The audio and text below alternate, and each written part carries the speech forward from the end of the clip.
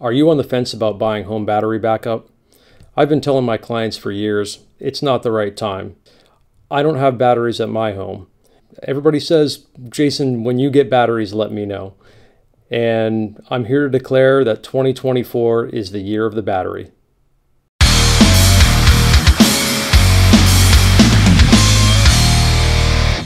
I'm finally installing batteries this year. So if you've been on the fence, now's the time.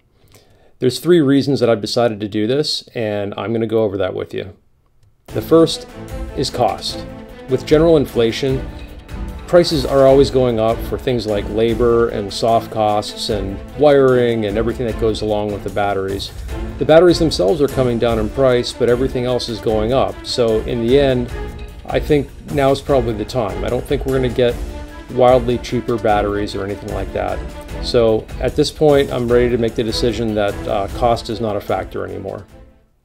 The Enphase 5P battery. Competition has made everybody step up their game. Tesla's coming out with a new Powerwall 3. Uh, there's competitors on the market like Franklin. You have a great Sol-Ark inverter that you can pair with any battery on the market like HomeGrid. And Enphase really stepped up their game with the 5P battery. There were two things wrong with the previous generation of Enphase. First was the wireless communication protocol. There were problems with communication, and when we have a battery, we want it to be simple. We want it to be seamless and easy, consumer friendly.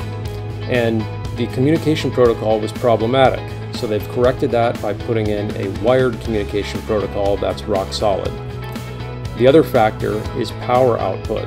So for the same capacity of battery, the Enphase 5P has double the instantaneous power output.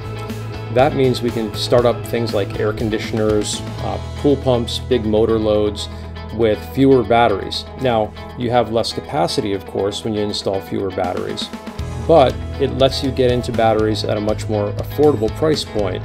You might not be able to go as long autonomously, but you can put in a smaller battery. You can even add a supplemental generator for auxiliary power and ultimately, having that instantaneous power output to start air conditioners, which everybody wants in Southwest Florida, it's a game changer. So the Enphase 5P battery is a top reason that I'm going with batteries this year. Hurricane Ian. Okay, this one's obvious. Everybody saw this one coming. 2023, the phones were ringing off the hook for people wanting batteries. And I wasn't quite ready to pull the trigger, and frankly, I was pretty busy in 2023. As we hit the one year mark after Hurricane Ian, I started thinking about a success story that I had on Sanibel. I went out there one day, probably wasn't supposed to be there, um, went out with another homeowner by boat about a week after the storm, and I checked on a client's house. I walked in, air conditioning was on, refrigerator was cold. I was so proud at that point. Um, walked around the house, sent some pictures to the homeowner, but just knowing that these systems work and that they've saved people's houses, they've given them the peace of mind that they bought the batteries for, frankly, I realized this is time. So 2024 is the year of the battery. I'm excited to get my system installed and I'm excited to help you get the peace of mind that batteries offer. Now in a future video, I'm going to tell you about that experience on Sanibel. It was truly a career changing event for me.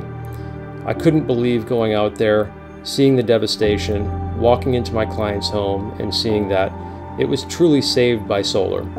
He was able to run dehumidifiers to dry out his crawl space, and when he got home, he knew he would have power.